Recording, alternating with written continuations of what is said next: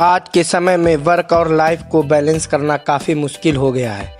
एक अच्छा जीवन जीना महत्वपूर्ण है। इतना ही ज़रूरी एक स्वस्थ और स्थायी जीवन शैली का पालन करना है। लेकिन व्यस्त लोगों के पास सुकून से बैठकर खाना खाने का समय भी नहीं होता। अगर आप भी बिज़ी लाइफ जीते हैं तो आपको भी ध्यान देना चाहिए। क्योंकि तनाव में लंबे समय तक काम करना और उसके साथ साथ टाइम पर भोजन ना करना आपके शरीर के लिए हानिकारक हो सकता है। शरीर को हेल्दी और फिट बनाए रखने के लिए हेल्दी और पौष्टिक डाइट लेना ज़रूरी है। आपके दिन की शुरुआत किस तरह के डाइट से होती है, यह सबसे अहम है। कहते हैं कि अगर आप सुबह का भोजन अच्छी तरह से करते हैं तो इससे आपका पूरा दिन ठीक रहता है। सुबह खाली पेट हेल्दी चीज़ों का सेवन करने से न सिर्फ़ आपके शरीर को एनर्जी मिलती है, बल्कि इससे कई तरह की बीमारियों से भी रक्षा होती है। अक्सर लोग इस बात को लेकर कंफ्यूज रहते हैं कि उनको सुबह से शाम तक क्या क्या खाना चाहिए। तो मैं अभय सिंह आपको बताऊँगा कि आपको सुबह से शाम तक क्या क्या खाना चाहिए। तो बने रहिए इस वीडियो में लास्ट तक और हाँ वीडियो को पूरा देखिएगा, क्योंकि वीडियो में बहुत कुछ अच्छा बताने वाला हूँ। तो चलते हैं बिना टाइम वेस्ट किए अपनी वीडियो की तरफ़। लेट्स गो नंबर वन आप लोगों को सुबह सबसे पहले उठकर नींबू पानी का सेवन करना चाहिए। नींबू पानी हमारे बॉडी के लिए बहुत फ़ायदेमंद होता है। बॉडी में मौजूद खराब पदार्थों को दूर करने के लिए और वज़न कंट्रोल करने के, चर्बी कम करने के साथ साथ पाचन तंत्र को भी हेल्दी रखता है। नंबर वन उसके बाद आपको सुबह खाली पेट दलिया खाना चाहिए। अगर सुबह ब्रेकफास्ट में दलिया खाते हो तो काफ़ी फ़ायदे होते हैं। जैसे सुबह दलिया खाने से आपका पाचन तंत्र एकदम ठीक रहता है। इसमें मौजूद फाइबर, कब्ज और अपच जैसी समस्याओं में बहुत फ़ायदेमंद होते हैं। इसके अलावा आपका वज़न भी बढ़ता है। तो दोस्तों, अब हम लोग चलते हैं अपनी दूसरी मील की तरफ़।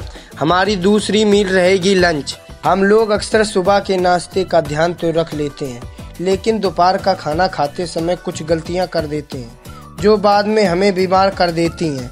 तो आज हम आपको दोपहर के खाने में क्या खाना चाहिए और किस टाइम खाना चाहिए, सब कुछ बताएँगे। वैसे लोगों को दोपहर का खाना 12 बजे तक कर लेना चाहिए।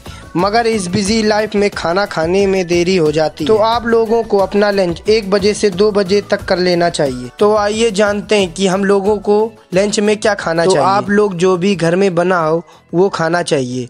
आप लोग दाल का सेवन ज़्यादा करें। क्योंकि दाल का सेवन करने से हमारे शरीर में विटामिन मिलता है प्रोटीन भी मिलता है। तो दाल ज़रूर खाएँ। और हाँ आप लोगों को दाल के साथ साथ हरी सब्ज़ियाँ खानी चाहिए। लेकिन इसमें हल्का तड़का लगा होना चाहिए, क्योंकि इससे आपका स्वास्थ्य ठीक रहता है। और आप लोग दोपहर के भोजन में दही और छाछ ज़रूर इस्तेमाल करें। यह दोनों चीज़ें इंसान के लिए अमृत हैं। क्योंकि इन सब चीज़ों से आपका पाचन तंत्र सही रहता है और गर्मियों में पेट भी ठंडा रहता है। तो घर की महिलाओं को खास तौर पर इन चीज़ों पर ध्यान रखना चाहिए। अब हम लोग चलते हैं तीसरी मील की तरफ़। जो कि खाना खाने के तीन घंटे बाद होगी, जिसे हम बोलते हैं प्री वर्कआउट मील यह आपको चार से पाँच बजे के बीच में लेनी है। देखो अगर हम लोग सारा दिन खाएँगे, अगर वर्कआउट नहीं करेंगे तो खाना कैसे पचेगा? तो वर्कआउट करना ज़रूरी है। तो आप लोग प्री वर्कआउट में दो केले ले सकते हैं। यह आपके बॉडी में बहुत एनर्जी देता है और वर्कआउट करने में भी एनर्जी देता है। और आप लोगों को कम से कम एक घंटा वर्कआउट को करना है। एक घंटा वर्कआउट करने से हमारी बॉडी अच्छी तरीके से ट्रेन हो पाती है। अब हमने वर्कआउट ख़त्म करने के बाद हमारी बॉडी में हाई प्रोटीन का जाना बहुत ज़रूरी होता है। तो आप इसके लिए अंडा खा सकते हैं। एक अंडा या जितने आपसे बजट के हिसाब से ले पाए, उतने लें। वैसे अंडा हमारी बॉडी में हाई प्रोटीन देता है और ये वर्कआउट ख़त्म होने के बाद हाई प्रोटीन मील सबसे अच्छी है। तो दोस्तों, अब हम लोग चलते हैं आखिरी मील के तरफ़। डिनर यानी रात का खाना। तो हमें रात के खाने में क्या क्या खाना चाहिए, जानते हैं।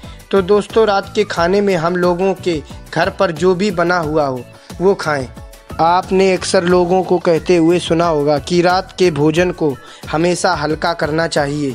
इसका कारण ये होता है कि हल्का भोजन रात में आसानी से पच जाता है। आप लोगों को रात में हरी पत्तेदार सब्ज़ी खानी चाहिए, क्योंकि इनमें फाइबर भरपूर मात्रा में होता है, जिन्हें रात में खाने से सेहत और पाचन दोनों दुरुस्त रहते हैं। और हाँ रात के खाना खाने के बाद आप लोगों को सोते समय हल्का गुनगुना दूध पीना चाहिए। इससे आपको अच्छी नींद आती है, साथ में ही आपको बॉडी में प्रोटीन, फैट, एनर्जी मिलती है। तो दोस्तों, आप लोगों को ध्यान रखना है। जो भी मैंने बताया है, उस पर अमल करेंगे। तो आप देखना आपकी बॉडी कितनी हेल्दी और एनर्जेटिक रहती है। तो दोस्तों, आज इस वीडियो में बस इतना ही। तो अगर वीडियो पसंद आई हो तो वीडियो को लाइक करें और चैनल को सब्सक्राइब करना बिल्कुल ना भूलें। और हाँ अगर आप सभी को हेल्थ से रिलेटेड वीडियो चाहिए तो कमेंट बॉक्स में ज़रूर लिखें, जिससे मैं आपको अच्छी नॉलेजफुल वीडियो दे सकूँ। धन्यवाद। जय हिंद, जय भारत।